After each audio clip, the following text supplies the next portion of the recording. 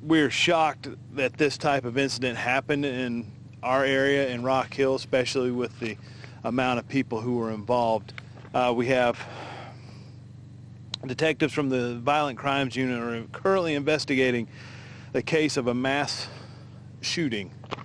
This is not like a mall, but it's a, a large number of people that we consider large. It's five people who are deceased from this uh, incident. One was also taken to the hospital with serious uh, gunshot wounds. Uh, do not have any information on their condition.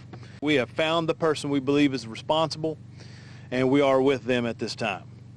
And that's all I can say about that, that suspect. Six, yes, Five five deceased. One was taken to the hospital with serious, serious gunshot You wounds. said the suspect was found. Where was?